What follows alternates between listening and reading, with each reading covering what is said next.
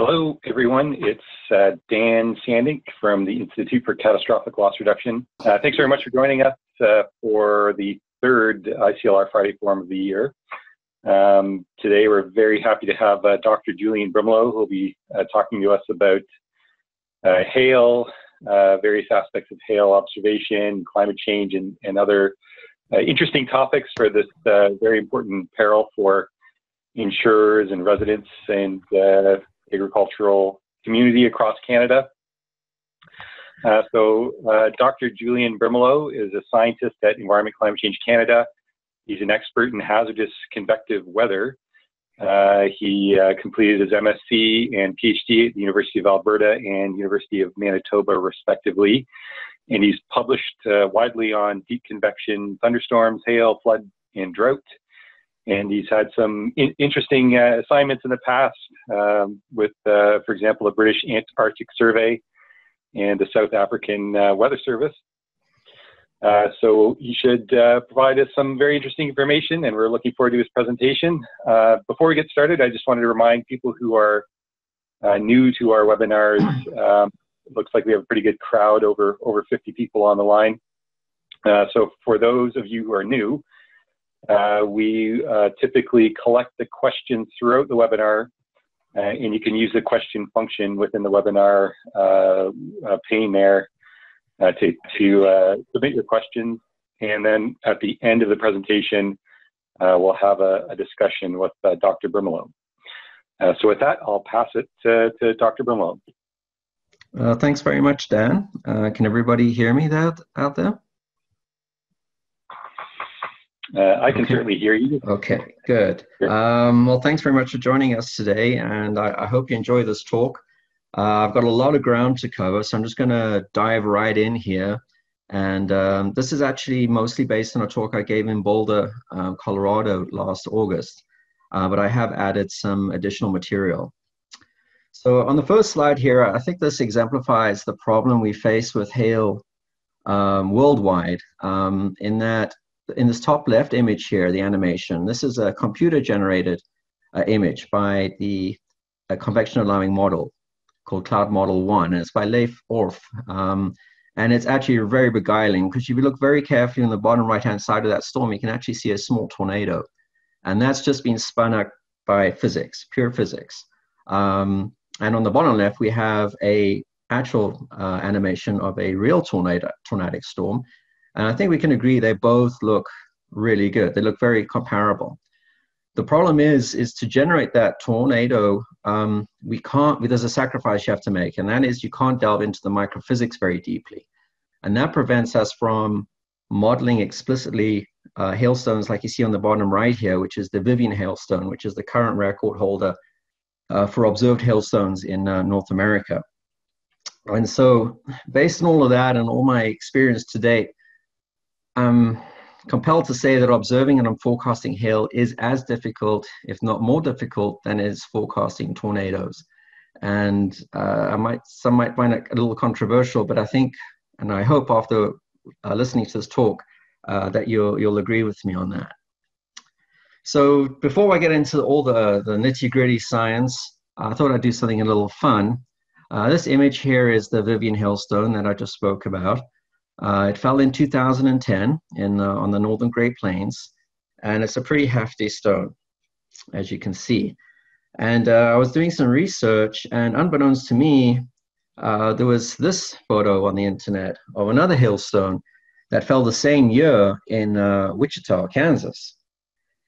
Now, uh, the one on the bottom left is arguably larger than the Vivian stone. Unfortunately, all we have as evidence of that stone is the divot it left in the ground.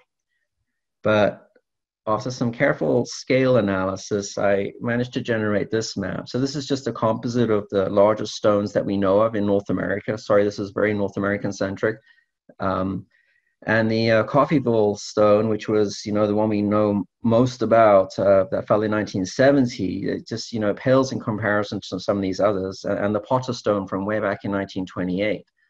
Um, but the stones that fell in Wichita that day, the, the one stone did get weighed and it came in at about 500 grams, which is far less than the Vivian stone. Um, but the, the third stone on the bottom right, if you superimpose Vivian on there, um, I think it's, it's, hard to argue that that Wichita three stone it, it was probably uh, much heavier and larger than the Vivian stone.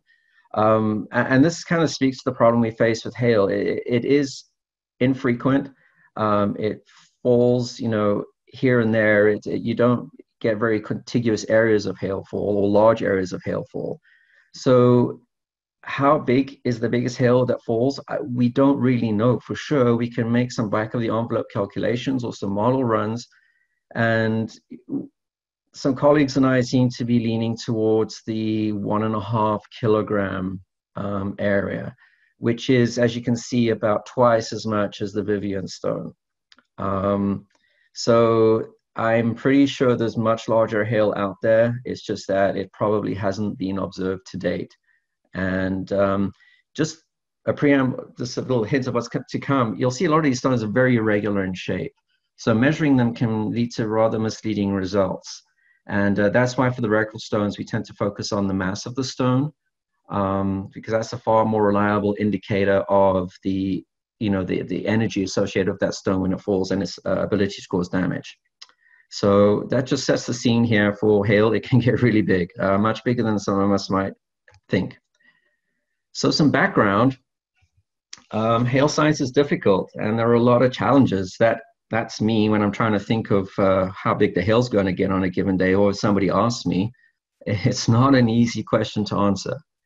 And the reason is, is that the size of hail on the ground is determined by a myriad of processes, and they occur across a wide range of spatial temporal scales, everything from the microphysics to dynamical scale and even synoptic scale.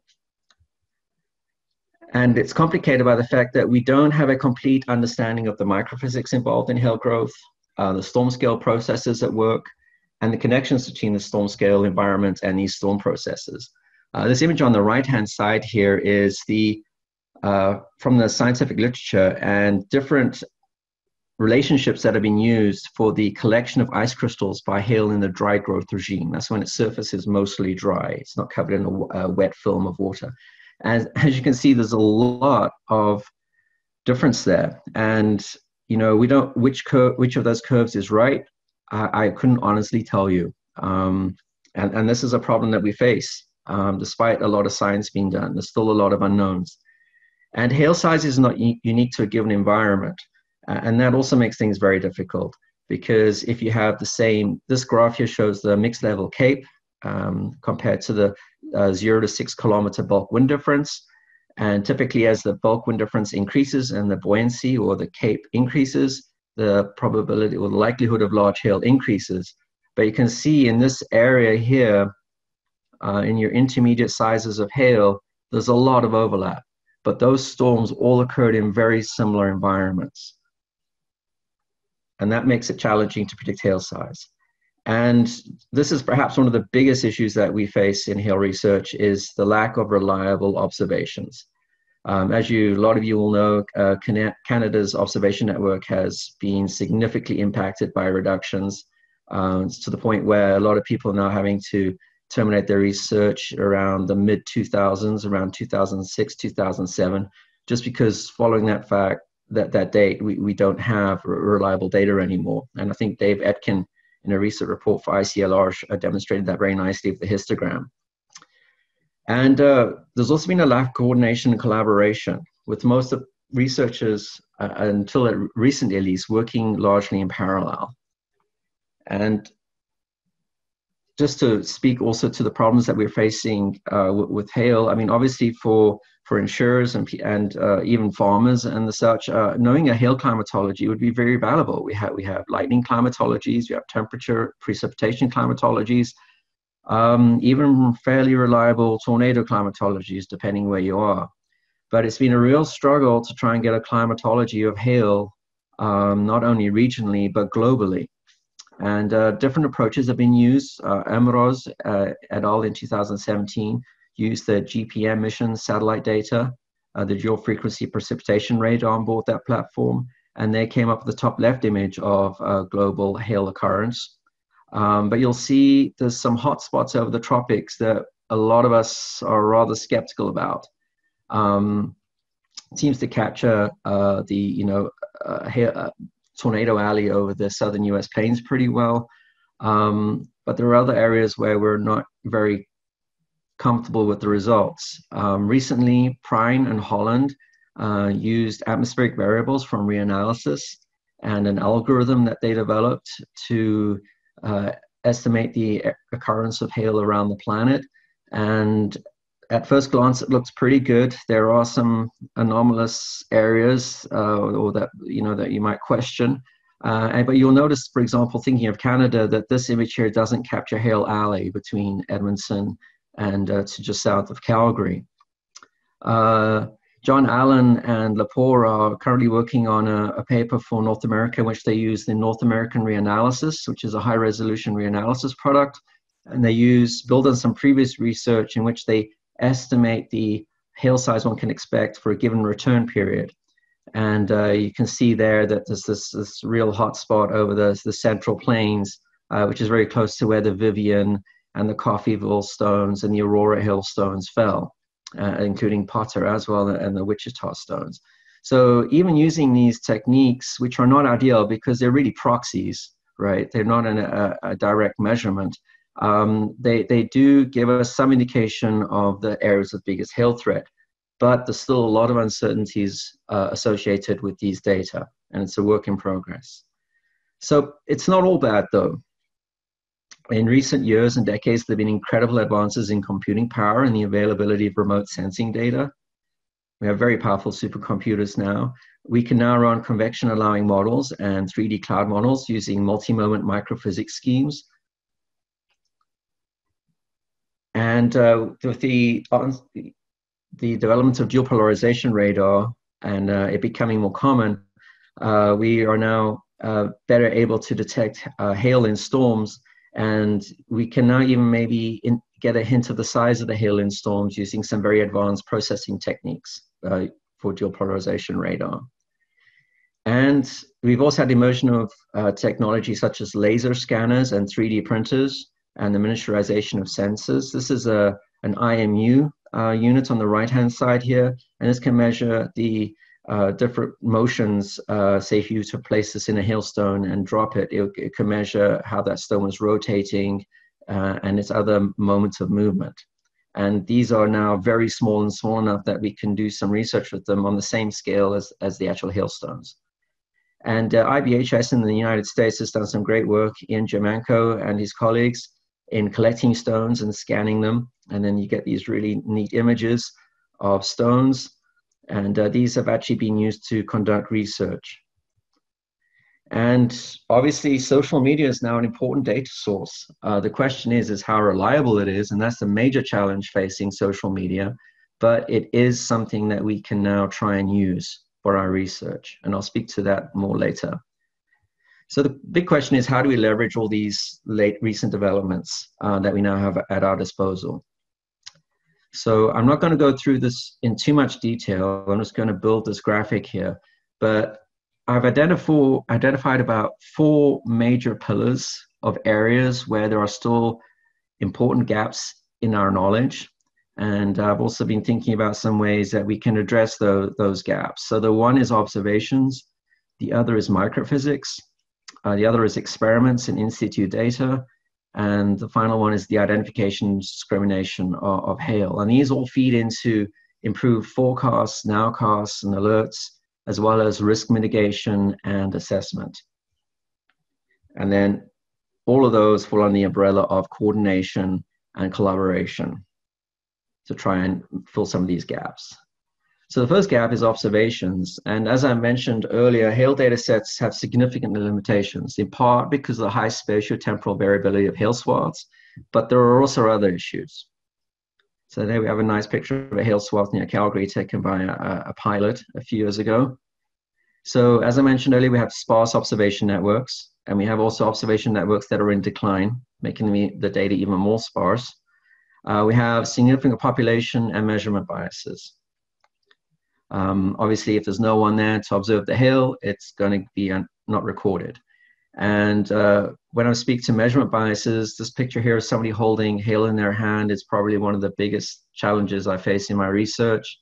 if I had a dollar for every photo like this I saw, I'd actually be doing quite well. Um, unfortunately, this particular photo would not be of much use to my particular area of research because people's hands come in many different sizes. And then we also have interesting hail like this, where it's got these very uh, pronounced lobes on it. And measuring a hailstone like that is, is obviously going to be very difficult. and the other interesting thing about people when they measure hail, and I've noticed this in the Canadian data, it's been noticed in the American data, the Storm Prediction Center data, is that people tend to have a propensity to report golf ball hail. And you can see that with this red bar here. That that though that histogram should be following an exponential distribution. Um, but it seems to be human nature, and we're not quite sure why this is happening. And there is some research going on in, into why this might be, because uh, there's a social aspect to this. So social science is, uh, you know, we have this anomaly, and, and that is something you really have to keep in mind when you're doing research. And then we also have timing and location errors. Um, people might try and remember when the hail fell. They might give you, you know, say it fell in Calgary. Well, Calgary is a big city, or, or Toronto. Um, so uh, those displacement areas uh, can be problematic. And there's also the confusion in how we report hail. Do we uh, measure its circumference? Do we measure its radius or the, the, the longest axis? Or um, and that is not always documented, which can complicate things. And people tend to focus on reporting only the large hail sizes. And um, ideally, we'd have a hail size distribution. And the other problem is that when the person reported the hail, was that the time when the storm was at its most intense? So does it reflect the true storm severity? And going back to data networks, uh, we have a lack of long-term data sets for climate studies. And this is obviously a big problem. So some solutions, um, we do have some diverse but complementary tools available. Uh, we have social media and reporting apps um, that people are becoming, starting to use quite a bit now. And if you remember that earlier graph with the, the uh, spurious uh, golf ball uh, data point, if you use social media hail sizes, you get a much more realistic distribution of hail sizes, which is very encouraging. And these are from photographs where I scaled the hail size using an object, a reference object. So that, that is encouraging. Uh, but we have to do a lot of education and public outreach to make those social media reports uh, useful. And I'll get to that in a bit in a while here. So this is a graphic that a colleague and I at Environment Climate Change Canada are working out that we're hoping to tweet out soon uh, before the summer season starts, you know, just to give some people uh, some ideas uh, on how to report hail in a way that is useful not only to forecasters who are issuing warnings, but also to the research community. And uh, an idea I've come up with that I'm going to speak to later as well is to weigh the hailstones instead of focusing on size. Um, that, that has a lot of benefits in doing that. And you can just get a fairly accurate estimate of the hail size using some basic physics. And there have been some uh, field studies uh, Hailstone, Shave, uh, IBHS, Chat, and CoCoRaHS uh, to collect hail, but we really need more of those and uh, longer lived projects. And then we need to maintain and expand existing hail networks. Uh, in Europe, they have some very good hail pad data networks, especially in France and Spain, and they go back decades. They got decades worth of data from these hail pad networks. And I don't think we really have anything uh, in North America um, other than the CoCoRaHS uh, hail, volunteer hail pad network. And uh, we can install networks of impact disdrometers. Um, the technology is now at the point that it's relatively cost effective and uh, they have low power requirements and they can be um, put out in the field and actually measure hail. And they can even be used, deliver the data in real time to uh, alert forecasters and uh, other stakeholders that, that hail's on the way. Or go back and do some studies on, on the event after the fact. This is a, a sensor that's been developed in Europe. And then we can also use remote sensing data to identify hail swaths and identify and est estimate the maximum hail size. So we can, we can use high resolution uh, satellite imagery um, to, to identify hail swaths, for example. So just to go back to leveraging social media, um, the question I asked myself a couple of years ago is uh, could images of hail be, that are posted on social media provide a source of objective and accurate hail size measurements? So the only way to really test that hypothesis is to try and do it. So uh, data I'm showing you today is for data I collected from Twitter between 2014 and 2016. I've since extended that to 2018. So we'll have about five years of, of data. And uh, basically, what I did is I went through a bunch of uh, hashtags on, on Twitter uh, where people tend to post photographs of uh, hail. And I sorted the images into four categories, you know, images of damage, uh, what I call the scene is, and there's a lot of these photographs of people just took something looking out a window, um, a photograph with hail, but there's no object in it that I can use to scale the size of the hail and then scalable uh, photographs. And to date, I have about, I'd say, over 3,000 photographs that I've managed to collect. Now, what I did was to estimate the size of the hail, I calculated what we call the equivalent spherical diameter of the larger stones in the photographs. And the diameter is important because the kinetic energy or its ability to inflict damage scales with the diameter to the power of four. So a small increase in diameter has a disproportionate increase in damage potential. So it's really that's one of the reasons we focus on um, on the diameter. So using scaling and assuming the stones are spheroids, um, typically they're actually triaxial ellipsoids. So there's three axes, not two. Um, one can estimate the equivalent spherical diameter of the of the hail. So this, if it's triaxial ellipsoid, this technique will actually overestimate the hail size a little bit but it can still give you a very good estimate of the hail size. So just some information about the statistics that I gathered back in um, th those uh, three years that I had looked at.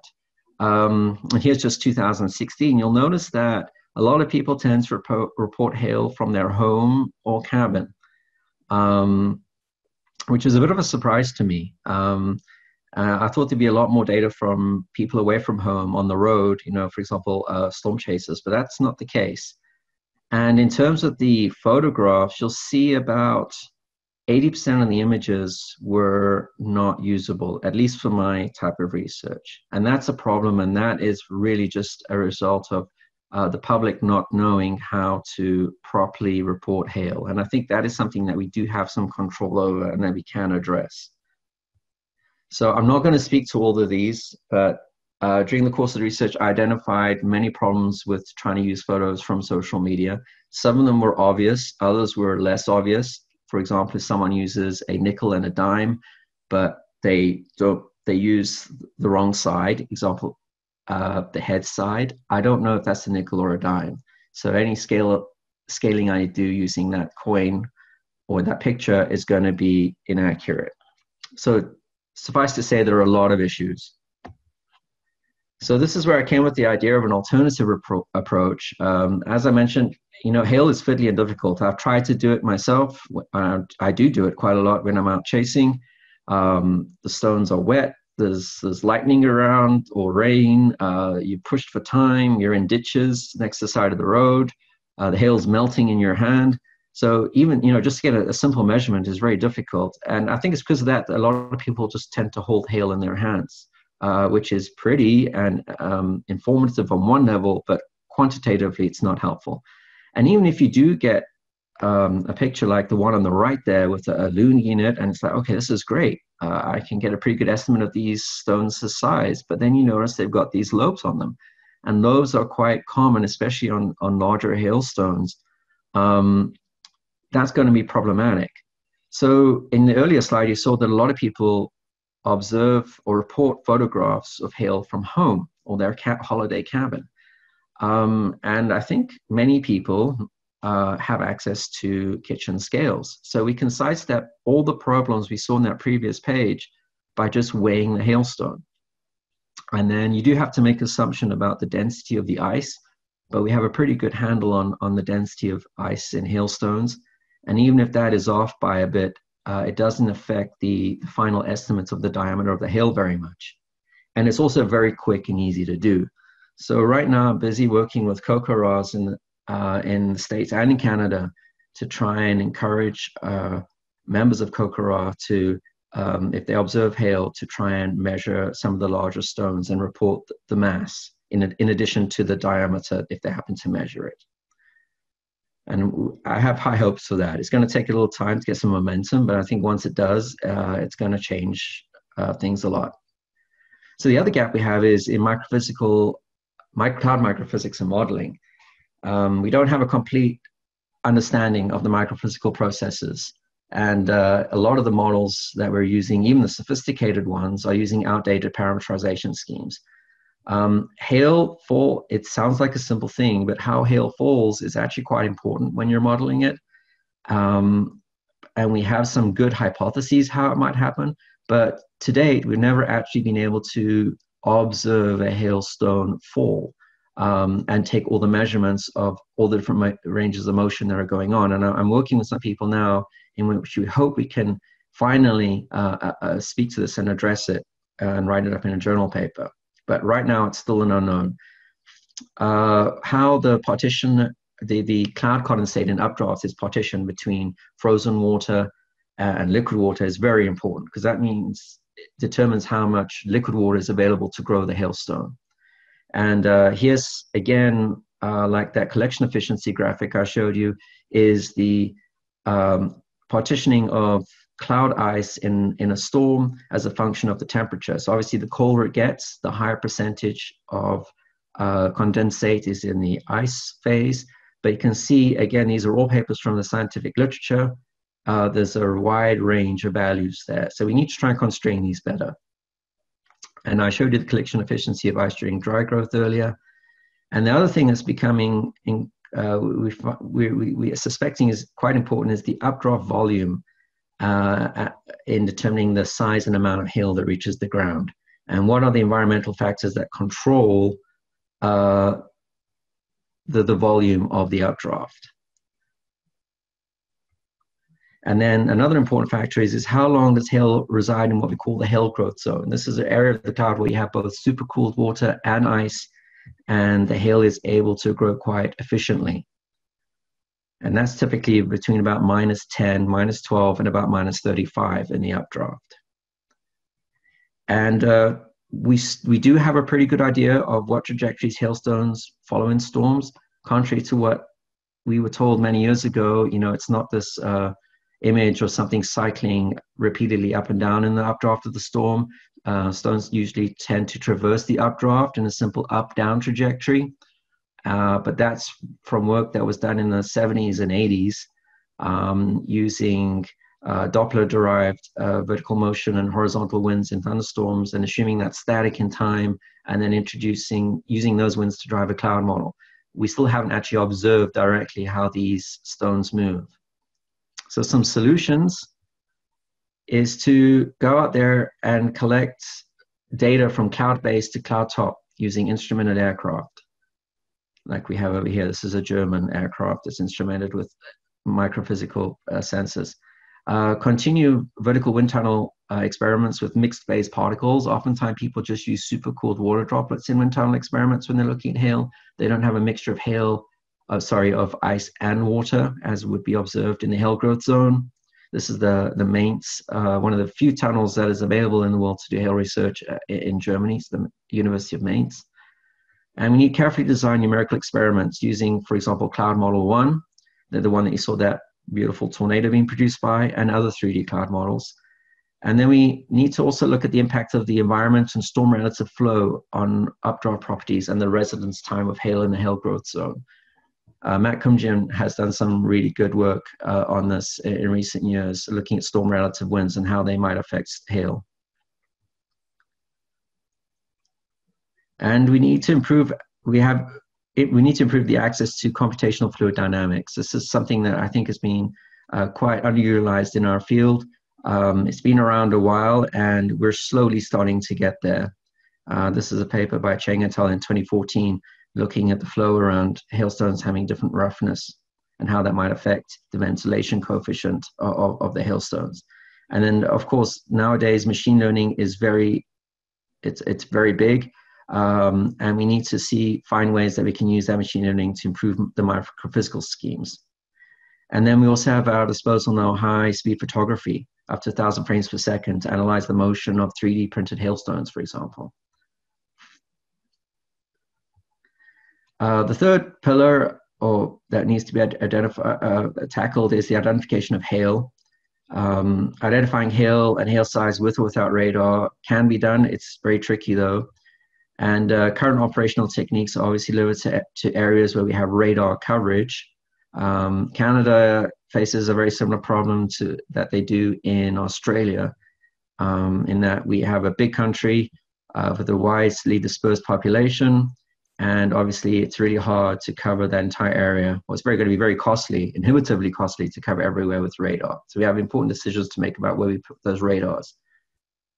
Uh, we still have limited ability to discriminate between hail size using radar. We can now determine with quite a high level of confidence where there is a very high likelihood of hail, but we don't always know how big that hail is. Although Ortega has developed a hail size discrimination algorithm using dual polarization radar data. And we have few validated operational tools to quantify the massive hail on ground. So the total kinetic energy of the hailfall.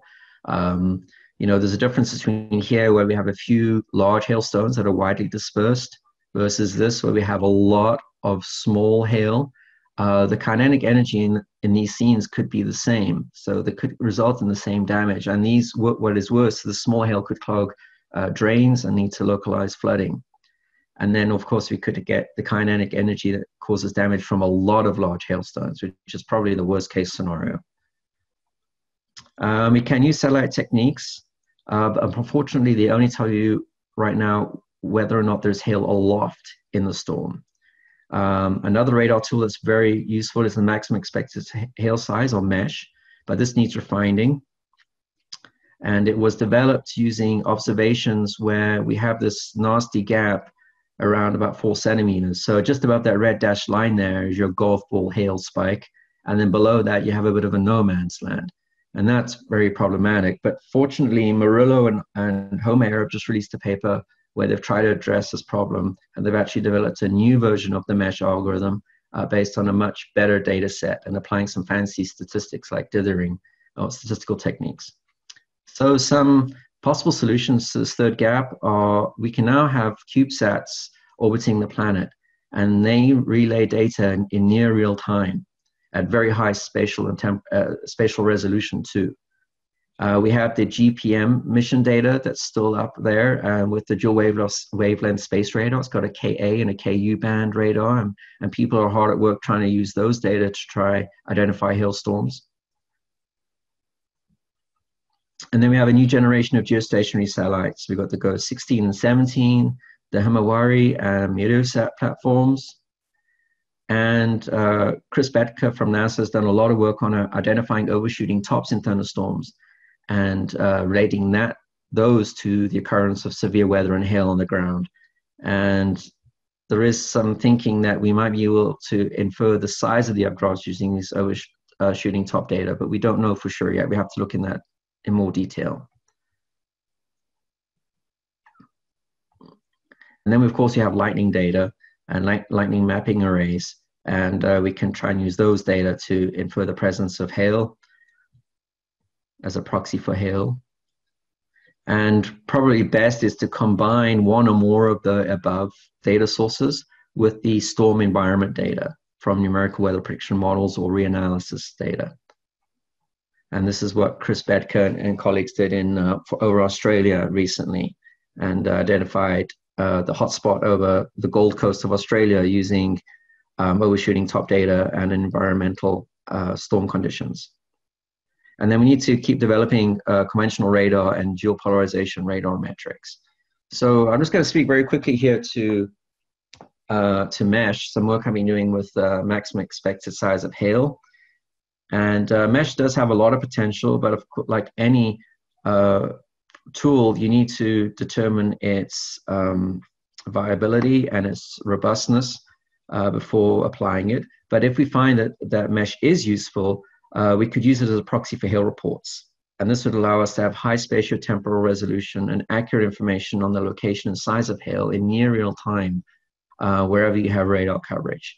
So using those same uh, multi, uh, social media sourced hail reports, um, I undertook a process where I first identified the size of the hail as best as I could, as I, you can see in the top left here, for a particular storm.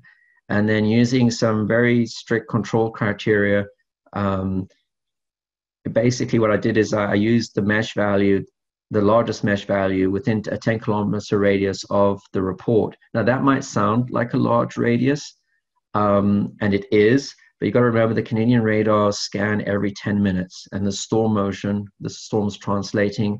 Uh, so there's uncertainty also in the location of the storm report. We don't know for sure exactly where the report was made always.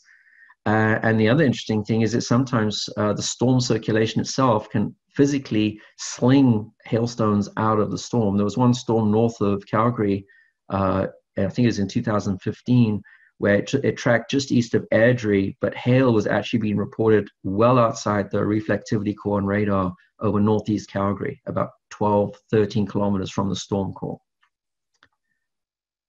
And, when, when you look at these mesh data on the left, and I think this is something important to keep in mind, hail uh, tends to follow an exponential distribution. So many small hailstones and obviously dropping off to uh, uh few large hailstones. And note the log scale on the left-hand side of this image here. And the fact that the mesh data, albeit from radar, uh, mimic this hail size distribution is very encouraging. And then when we compare the, the size of the hail estimated from the mesh product against the uh, high quality observations and quality control observations that I made, uh, you get a pretty high correlation coefficient. Um, there are biases, um, but it's pretty encouraging. Uh, and this is for the Canadian C-band radars on the prairies for those data from 2014 through 2016. So since then, um, encouraged by those data, I looked at uh, three years so far, but I'm going to add another two years for five years in total. Uh, these are the number of counts per bin. Each bin here, or a little hex, hexagon, is about a thousand square kilometers in area. Uh, if you take the raw data from the radar, there are a lot of artifacts in it, especially uh, spurious um, uh, returns, there's ground clutter, and obviously near the Rockies, you get a lot of clutter from the mountains, which the uh, storm tracking algorithm falsely identifies as a storm. So after applying a lot of quality control, you get the image on the bottom left, and you can see uh, near Calgary, uh, which is over here on the bottom left, uh, whereas before the highest counts of hail occurrence were over here, uh, or, or, rather the number of cells tracked by the radar were over here, it moves eastwards away over to the foothills. And you can actually see this indications of a lot of cells being tracked by the radar over Hail Alley here. But then we have artifacts like here where this Bethune radar is uh, what we would say meteorology very cool. Um, and that's because it's not very sensitive. So it, it, it's and it's a it's a systematic problem. So that's something you have to keep in mind with radars, and especially in our current network. They're not all the same technology in terms of hardware and software, and this does uh, affect the data. So keeping all those limitations in mind, uh, if, if I had been the severe hail reports for those three years using the same technique, uh, you can see Hail Alley. Uh, you can also see Edmonton, can also see Red Deer. You can also see Calgary and Winnipeg. So these are these hotspots because that's where people reside. So that's one of those biases I was referring to earlier. Uh, for all we know, there's a lot of hail up here, for example, near Cold Lake, but there's nobody there to report it, so it goes unnoticed. But if you look at the radar data, you see a very similar pattern reflected uh, over the foothills of, of Alberta, high incidence of severe hail, they found in research that a, a, limit of three centimeter diameter in the mesh product is usually related to severe hail size on the ground. So it tends to measure a bit high, but multiple studies have found this three uh, centimeter uh, threshold for severe hail. So that's what I've applied here. And then you can see the Bethune radar, there's very little hail reported by the radar, but that's because the radar is too cool and underestimating the strength of the storms. And then also seems to be a bit of a hotspot here over southwestern Saskatchewan and southwestern Manitoba. So the fourth gap, and I'm not going to spend too much time on this, is that there's been a stagnation in lab experiments and gathering in situ cloud data for a long time now. Uh, there was some very ingenious work carried out in the 50s and 80s um, by people like Macklin and uh, List and uh, people like that. Uh, but since the 90s, there's been very little uh, wind tunnel work done. And uh, I think we need to get going on that again um, using more sophisticated uh, wind tunnels. So some solutions are we need an aircraft. We used to have an aircraft called the T-28 that they used to penetrate hailstorms with. They'd fly right into the hail core aloft uh, with this instrumented aircraft, and we got a lot of good data from that. But that that was a long time ago. That was decades ago now. So we're thinking about a replacement, and uh, this uh, with the Thunderbolt aircraft, but that requires money, and it's going to be a long time before we have another instrumented aircraft, even if they do get the funding, because they have to convert it. Um, we can study hail growth using vertical icing tunnel with a mixture of supercooled droplets and ice crystals. We can embrace unconventional thinking. Uh, alternatives to ice tunnels do exist. I don't know if you've ever heard of iFly World, where you can go skydiving indoors. Well, that's basically just a giant wind tunnel. Uh, the winds in these uh, uh wind tunnels are up to 55 meters per second, which could support a Vivian-sized hailstone. And we could study the full behavior of natural and instrumented 3D printed stones. And we may even be able to develop something called a hail pod, which looks similar to this device. And I'm actually working with somebody now on doing this, uh, in which we hope to fi- release these into storms and actually get four dimensional data, uh, including measurements on the actual uh, movement of the, you know, if it's rotating and gyrating um, through the storm. So I just want to speak very quickly to the dual polarization radar network. Uh, I think this is a very interesting, great tool that we're going to be getting in Canada. Uh, we've already got five radars installed. Uh, dual polarization, as the name suggests, traditional radars transmit the energy in a horizontal or vertical plane only. Here we transmit data in a vertical and horizontal plane, and uh, that allows us to identify the shape of the of the uh, reflect or the scattering object and that in turn allows us to determine whether or not it's rain, hail, or snow. So dual polarizations are really good for that.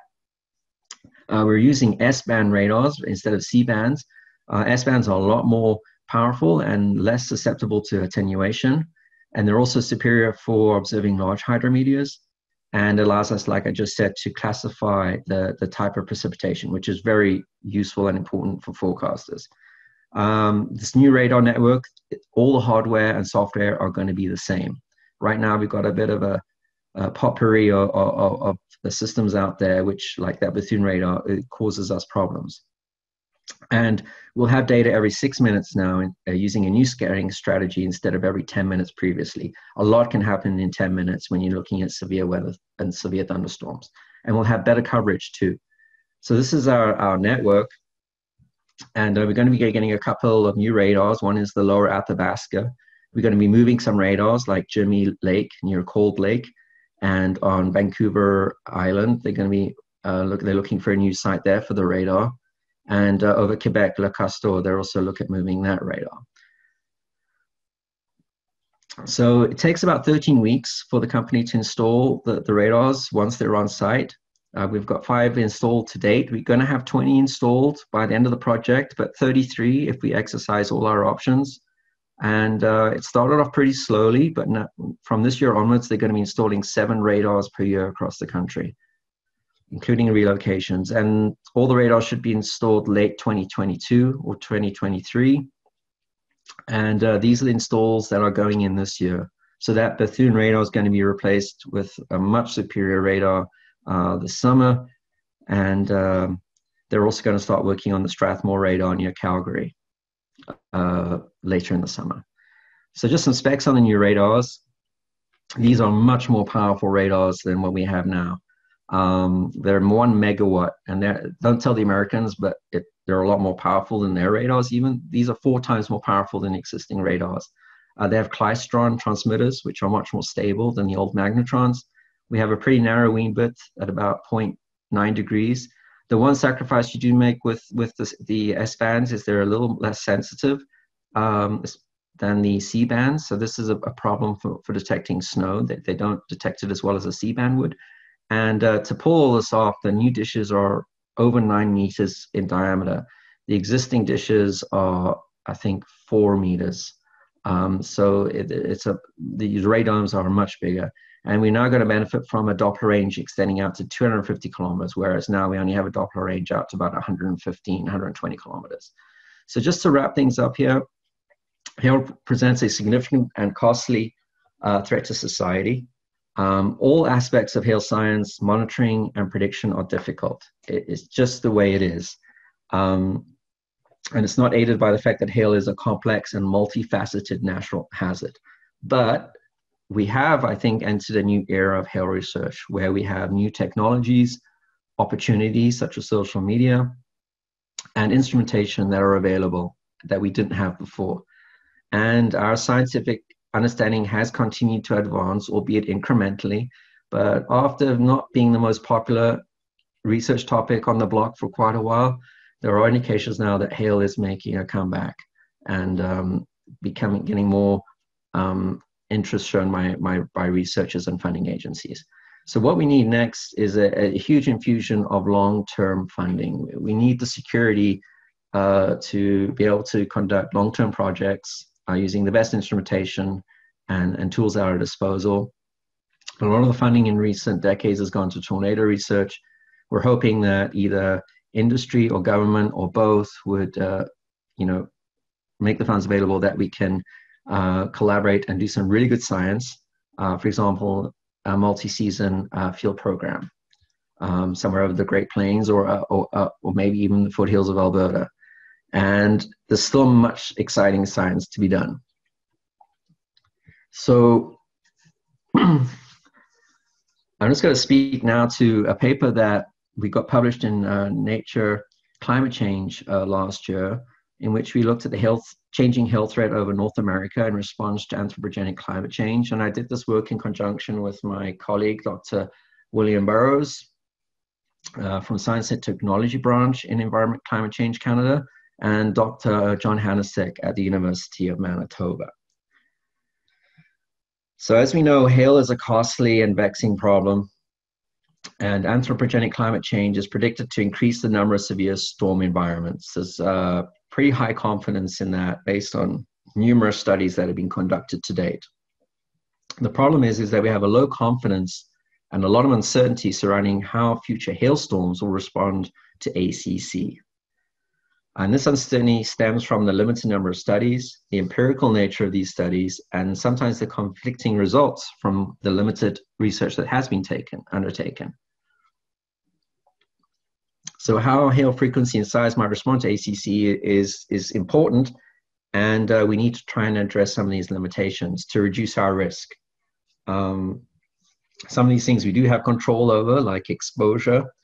Uh, the hazard you can't really do much about, but you can also decrease your vulnerability. But that takes understanding of how things are going to change in the future so you can plan for it. So, previous work, the research was uh, based primarily on the responses via storms um, to global warming uh, using the, what we call the CAPE bulk wind difference phase space. Like I mentioned earlier, basically as your CAPE increases, uh, that increases the buoyancy and the strength of the updrafts that are required to support heavy hydrometeors like hail. But the bulk wind difference or the vertical wind shear helps organize your storms um, and also creates favorable environments for tornadoes, for example. So here is uh, some information from Diffenbaugh et al. in a paper that was published in 2013. And in this paper, they used uh, an empirical relationship derived for the current climate between atmospheric parameters and damaging uh, hail days. And applied it to the, you can apply it to the future. Uh, in this case, they were looking at just severe thunderstorm environments. They weren't looking at hail specifically, but the assumption is, is that whatever relationships you derive now, whether it be for severe storms or for hail, also apply in the future, which is not necessarily true. So we saw an opportunity here to, to try and contribute something, and we looked at the North American Regional Climate Change Assessment Program, where we looked at uh, data from three um, regional climate models that were driven by global climate models uh, over North America. And there we used the Hailcast model to explicitly model the, the size of hail and the response of that hail to the sorry the, the, the new environments after global warming. So the, although there were many more members and pairings available for this particular uh, project, NARCCAP, we did a lot of quality control and background checks to find those model pairings that gave us the most reliable data to, to drive Hailcasts with. So we looked at two windows. One was what we'll call the current climate, or that's arguably not true anymore, uh, which is 71 through 2000, and then a future window of 30 years starting in 2041. So these data were available on a 50 kilometer grid. It's about 5,000 data points over North America. And in total, we generated about a billion profiles. We didn't run the hail model at all of those billion profiles, but a lot of them. And we looked at a period between the 1st of March and the 30th of September. and then we identified the largest hailstone for each day from Hailcast at each of those grid points.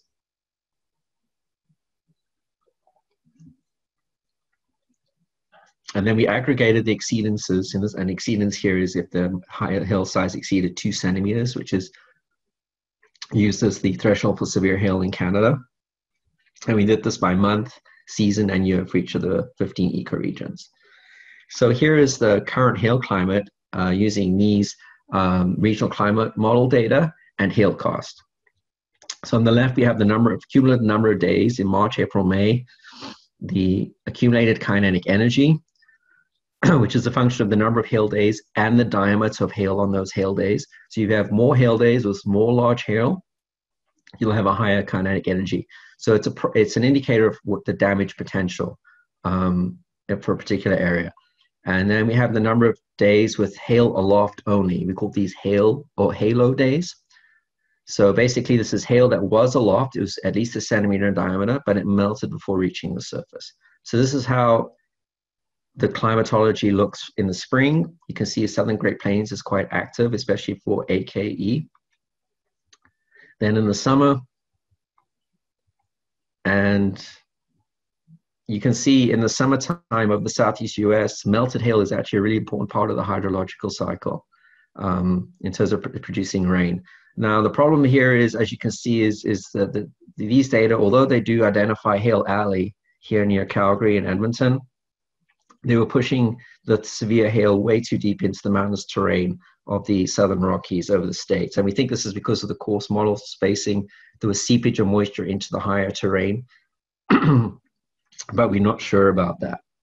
But the it does move slightly. If you look here uh, for the May through September period, uh, your area of highest hail threat does shift eastwards to the to the Great Plains of the U.S. And then we have this nice bullseye here over um, Alley over Western Canada. So these, these results are quite encouraging. So after we looked at this, we decided, well, how are things going to change in the future? Now we're dealing with a, a rare event that is highly variable in space and time, both intra-annually and interannually. So teasing out a statistically robust signal is, is was quite tricky. But before looking at that, I just want to give you an idea of all the processes involved in making hail and why it's complicated that you can't just see off the top of your head how hail's going to respond. Uh, for, for hail to form, you need meso, favorable meso and synoptic scale uh, environment, which is instability for the updrafts. Those are fed by moisture. You need moisture. Instability alone is not enough. And then you don't need a limited amount of instability. You need a lot of instability as quantified by K. And then you also need a lot of uh, vertical wind shear and what we call low convective inhibition. So you don't need you need an environment where storms can be easily triggered, but then you still need a trigger mechanism. And then you can get hail if all those things fall into place. But that's just the mesosynoptic scale.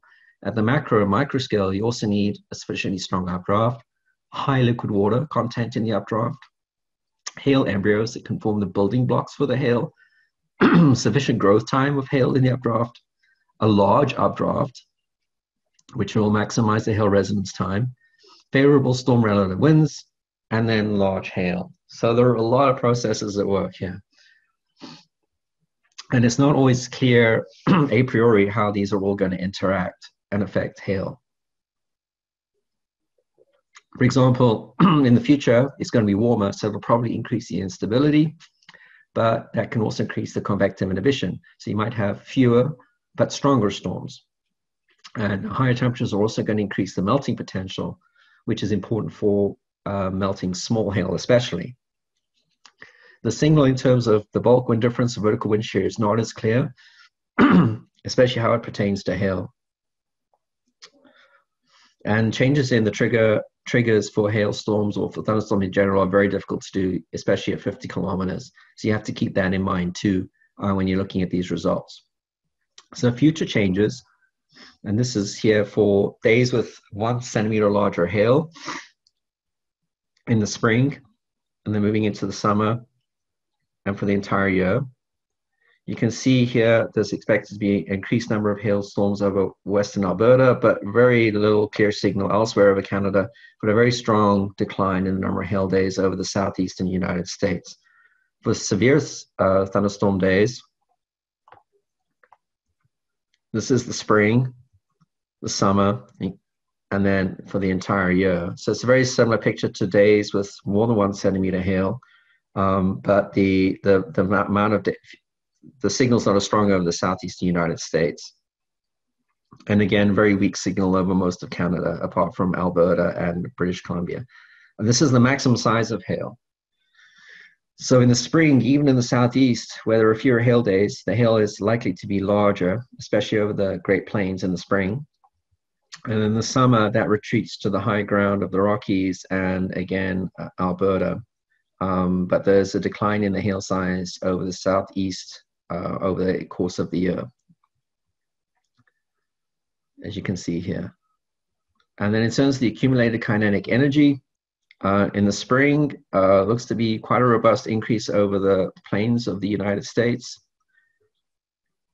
That moves northwestwards during the summer months with a hotspot over Alberta and uh, over uh, Wyoming.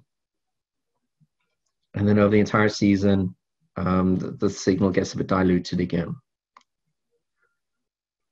So just to summarize, uh, this was the first study to explicitly model the response of hail to, to warming without using any empirical approach, but actually explicitly modeling the hail size using microphysics in, in, a, in a cloud and hail model. Um, there's a concept, complex interplay of drivers and processes uh, that were taken care of during this, this study. And the response of hail over North America to ACC varies a lot by region and by season, and also in terms of the strength of the response. But in general, fewer hail days are expected in the future over most areas, but uh, and a marked decrease in hail damage potential over the east and southeast portions of the United States or North America. But we are expecting an increase in the hail diameter on days when it does hail in the future. And the result is that there's greater hail damage potential over most areas in March, April, and May, especially over the southern Great Plains. And then the higher latitudes, including Alberta and Hail Alley, and the mountainous areas in June, July, and August. But we still need to do more work. This is just one set of model runs um, or, or parent models. Um, we need to use more data and expand the study globally. And uh, one data set we could use is the Cordex data. And we can also, instead of using Hailcast, we could try and use uh, convection underlying models or climate uh, CM1 or uh, Hailcast uh, that was recently developed by um, Becky Adams-Selin and Conrad Ziegler. And that is the end. Uh, thank you. My voice was running out there. Sorry about that. Uh, if you have any questions, uh, please pass them along to Dan and I'll be happy to answer them as best I can. Excellent. Great. Uh, thanks very much. Even though your voice was uh, fading, uh, it sounded good uh, throughout. thanks for the presentation. Very, very, very interesting discussion. so we have a number of questions from folks on the line. we got over 50 people. Uh, if you do have some questions, please go ahead and, and submit them. Um, so first, first off, I think there's a fair bit of interest in the in um, I think assisting uh, you and and uh, your group with uh, hail observations, and you mentioned uh, earlier on that uh, you're preparing some public information material on how to uh, report um, hail in sort of a more uh, accurate way. Um, and there's some interest here from some of the attendees on, I think, attaining and distributing this information. Um, so is there, do you, do you, have a plan in terms of pushing out that public information and, and what do you think, uh, what can we do? What can our insurance members do to, to help with that? Um, yeah, we're happy to share that. Um, it's been a bit of slow progress because we don't have many in-house resources to create, um, uh, you know, nice looking inf- infographics. Um, but uh, one, what we have right now are just mock-ups. But I, I don't see why not. If in the future, once they're completed, that uh, we, I'm sure it won't be a problem to share them with whoever's interested, and we'd be more than happy for people to, to you know, spread the word. Um, like I said earlier, it's a public uh, education exercise, and uh, the more uh, people we have out there um, pushing uh, the message, the better so it's it, it's nice to hear that people are interested in, in helping in that regard. Right, sure. And I think uh, with the, the networks um, that uh, that some of our members have, um, even getting their own employees and uh, insurance brokers, agents, and, and so on on board and, and informed about how to collect this data that uh, might uh, result in, in some good reporting, and especially in the Alberta area additional question. Um, so you mentioned, um, I think near the end of your, your presentation, you mentioned briefly that uh, the, the threshold for severe hail is uh, scenarios where the hail uh, stones are over two centimeters in size. And I'm wondering if uh, if you're interested in observations or people reporting via social media, uh, are you interested in all events, including you know more minor uh, hail events of smaller stones? Um, so should we be reporting on all events that we experience, or just focus on the more severe events? Uh, that's a very good question and a very good point. Um, what I found doing research is that uh, null reports are very important. They're also incredibly hard to come by. So obviously, people are very interested what I found is that people tend to report uh, small hail far less frequently. And if they do report small hail, it's usually out the window, you know, so it's very subjective to try and get an idea of the size. And, and that's not surprising. I mean, uh, there's no reason why people would expect that these small hailstones would be important. But when we're developing algorithms to differentiate between small hail and large hail, or small hail and no hail, because enough small hail can be just as problematic. There's, there's, there's, quite a bit of research now going on to try and determine how much ice the storm is going to produce uh, in terms of the mass rather than focusing just on the size. So the short answer to your question is yes, definitely. Um, small hail is actually very important. And you know, even if it's a if it's a heck of a thunderstorm and there's a downpour and there's no hail in that, that's just as valuable. Um, that the, the fact that there's no hail in that particular storm because radar could be telling us there is hail in that storm, and uh, that may not be the case on the ground. Okay, we'll try to mobilize our network here, but uh, be prepared for an inundation of uh, of reports. um, oh, that's good. um, so, some other uh, maybe more basic questions for you, some practical questions, uh, but questions I have as well. Uh, so you mentioned several times the the the hail corridor in in Alberta, sort of between Edmonton and Calgary. Um, so a couple questions: Why why is this area such a hot spot, and uh, why, say, for example, uh, do we not get uh, hailstorms in the west coast? Okay, yeah, that's a, that's a very good question. Um, to be honest, nobody's actually studied exactly why it, it, it is such a hot spot. That, that's on my very long to-do list. I mean, we have we, we, we know why the, the we know that the ingredients are there, but why everything comes um, into sync there is, is maybe a more subtle question. Um, really, what what we have the, the Rocky Mountains play a very important role um, in, in, setting the scene. Um, because what will happen is is we get what we call an upslope flow, an easterly flow of moisture from the, the plains, even as far as the US northern plains. And this basically, under the right synoptic conditions, you'll get a pooling of moisture along the foothills of the Rocky Mountains. Um, then above that, oftentimes you'll have the jet stream, um, you know, higher higher up. So th- this you have this easterly low level flow bringing in the moisture, and above that you have very strong jet stream if the situation's right, and that creates the ideal conditions for lots of vertical wind shear. And the moisture creates the, the setting for um, feeding the updrafts. Now, the other aspect of that is it's the warm season.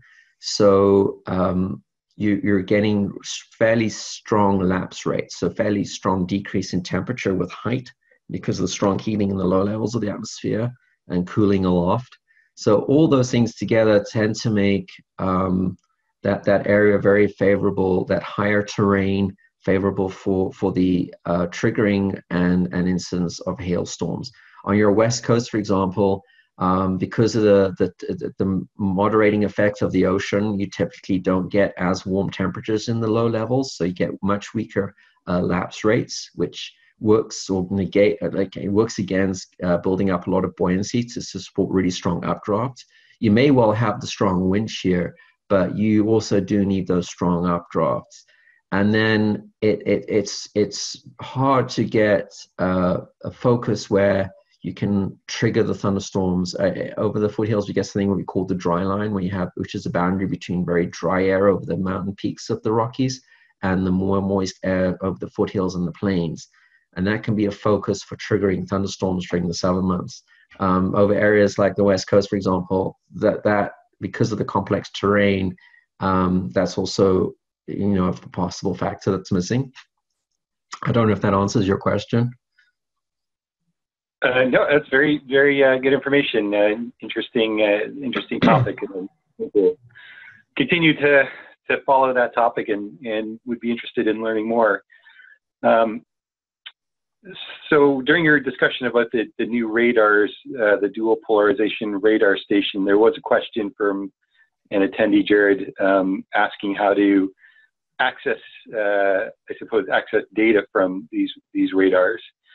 Uh, is data going to be made uh, publicly available, and, and how might people access the data? Okay, um, I know if I'm the best person to ask about that.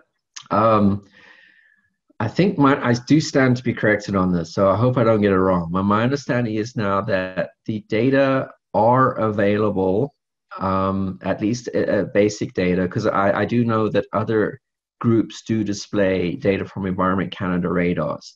Um, and but if people want specifics on how to go to where to, to actually physically grab those data in real time, I, I if I could, I'm happy to point them in the right direction. Um, with the dual pol radars, um, the rollout is going to be quite slow. And because the thing with dual pol radars is there's a lot more information coming from each volume scan. Um, uh, it's not just twice as much information, it's a lot more than that. Um, so what I'm trying to say is is that when we get for us to get to the point where we can share uh, those dual polarization variables uh, such as ZDR uh, and things like that, it's, it's going to take a while to uh, where we have the, the good latency and ability to share those data in real time. But I do think it's gonna it's it is coming. It's just gonna okay. people are gonna have to be patient. Right, good to know. Uh, but it sounds like it'll be uh, pretty useful when it's uh, up and running. Um, Definitely. So there's there are a couple questions here about hail suppression. Um, so this is insurance audience, uh, and uh, you might be probably familiar with some of that hail suppression work that's been going on. Uh, so I'd be interested in, in hearing your thoughts about about the, that topic generally. Um, and then there's a very a more specific question: um, How does the hail suppression program affect uh, research and predictions of uh, concerning hail? Right. Okay. Um, that's a difficult one, and and as you can imagine, it's also quite contentious. Um, nature is not our friend in this regard because we it's in some respects it is a good laboratory, and in other respects it's a terrible laboratory. And where I'm going with this is that we don't with with seeding specifically of to either to make rain or to enhance rain uh, or to mitigate hail formation storms, it's very hard to have a control storm.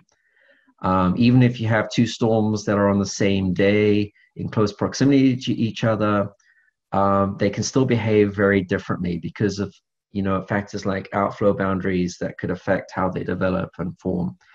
Um, so there has been research done on this, and and this is my own personal professional take on this is that I, I don't think there's compelling evidence that one can systematically make a difference. Um, I, just because of that control problem, right? Um, it's just, it's going to be very hard to tease out a conclusive, robust statistical signal and then make it repeatable um, because of all the, the, the, conflating things that are and, and, and the, the complexity of the system. So whether or not it makes a difference, I, I would say is still open up to debate. Um, I mean, there's okay. even some research now where they've been using cloud models that suggest that seeding storms in certain conditions may increase the likelihood of hail. And that's not to say it's going to happen every time, um, that, and that's in a model environment uh, under certain conditions. So whether or not that is actually happening in nature is another question. Okay, sorry, I've forgotten what the, the second part was. Oh, I, well, I, I think it's uh, you sort of answered. um, okay. It was um, uh, um, sort of, I guess, an assumption. If it if it is working, uh, does it affect uh, uh, research and, and predictions? Oh. But I, I you know, it would be very hard. Um, if, if, if I was doing research, I would probably look uh, if, if the data, if the meta information were available, I'd probably focus on unseeded storms, um, just because there is a chance there that it is having an impact, and we don't necessarily know how that impact is going to manifest itself. Uh, right. As for forecasters, I, I, don't think they worry too much about whether or not a storm is being seeded or not. Um, but I don't work on the forecast desk, but that would be my my gut feeling on that. Right. Okay. Um, so some questions about. Uh, so you mentioned well the, the discouraging, I suppose, um, erosion of our observation networks in in Canada. Uh, you know, concerning hail, um, and but you at the same time identified some newer technologies um, that might uh, be able to be deployed at, at relatively low cost. Um, and, and curious about your thoughts um, about sort of setting up private networks. So there's you know apps like uh, the Weather Underground that use um, uh, you know sort of household weather monitoring stations. Um, is there any potential to integrate these types of technologies in, into these uh, you know private monitoring networks, and would that be helpful, or is it something that really needs to be coordinated uh, at the national level by uh, you know by Environment Canada? Um, I don't think it needs to be coordinated by an agency like Environment Climate Change Canada. Um, I mean, I'm familiar with Wunderground. I actually post my weather data there from my the station in my backyard. It, has been a, a, a, really good uh, a program that they've undertaken there with the, the private weather stations. And I think what would have to be controlled is is the hardware and software. Uh, when you have a disdrometer, there's some pretty fancy uh, signal monitoring that you have uh, processing that you have to do to tease out the, the information, and they do need calibrating.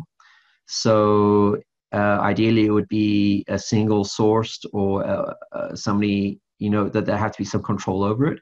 But I I, I don't know. I, I assume people and and and they're not. I mean, they're not terribly expensive. Um, you could probably build one for a couple of hundred dollars. Uh, if you know you're willing to do uh, the, the, the, work yourself but if there's this also scale, right? Like if there are a lot of them being built, that the cost would come down immensely. And I, think people would be very, uh, at least some people who are interested in thunderstorms would be very interested in having um, disdrometers in their backyard or on their farm or wherever they are. So I think the potential there is is is, is huge, and and it would be very beneficial because it would be objective, it wouldn't be subjective, and you, we could potentially get the data in real time. So I would be very much in favor of that. Yes. Great. Okay, good to know. Um, so we have a question here from uh, uh, uh Kegdas, um, and I'm thinking uh, this participant is an expert in this topic, so I'm going to read his question out. So bear bear with me. Uh, you mentioned an exponential distribution for hail. However, in my experience, you don't tend to see huge numbers of small stones, but instead a number of stones around the same size with larger stones uh, interspersed.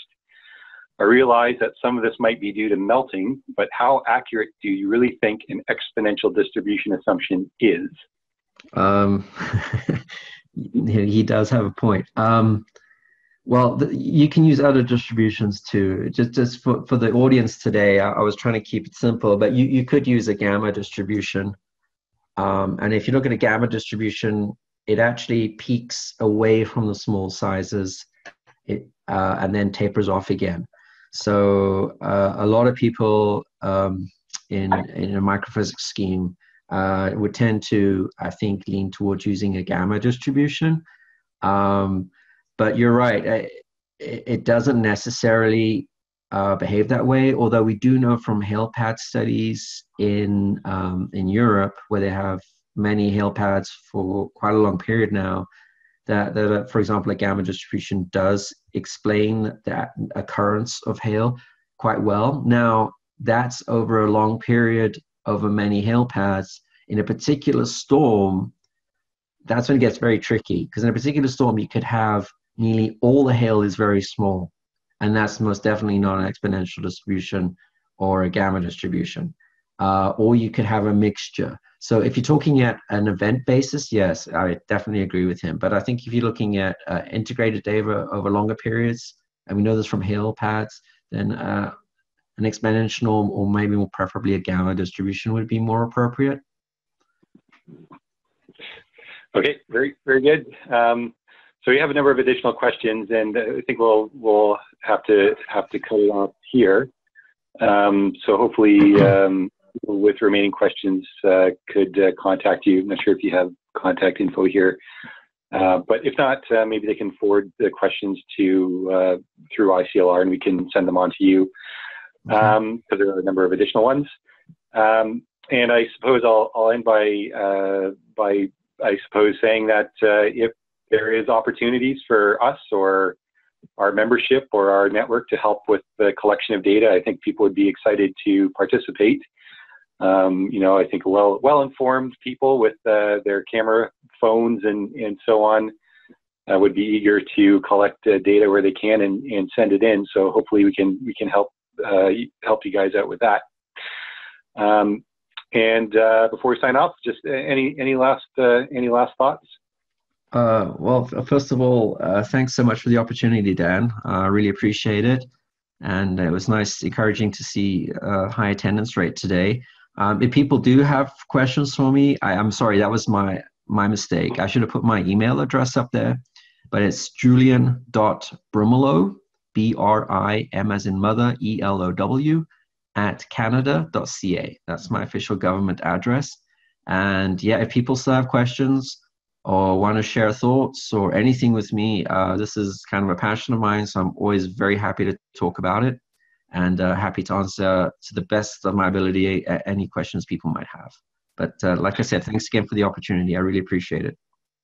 Great. Well, thanks for the excellent talk. Uh, I, I, certainly learned uh, quite a bit, and um, and I'm sure we'll we'll continue to follow follow your work and maybe see some more presentations in the future. So thanks again for your time, um, and thanks everyone for joining, and thanks for all the the great questions. Um, our next uh, Friday forum will be um, uh, later in April. We'll have um, a talk on uh, wildland fire modeling from third-party model, uh, third-party modeling group. watch your, your inbox for some more details on that in the, in the coming weeks. Um, so thanks again, uh, Dr. Brimelow. Thanks for the attendees. And uh, with that, the webinar is concluded. Thank you.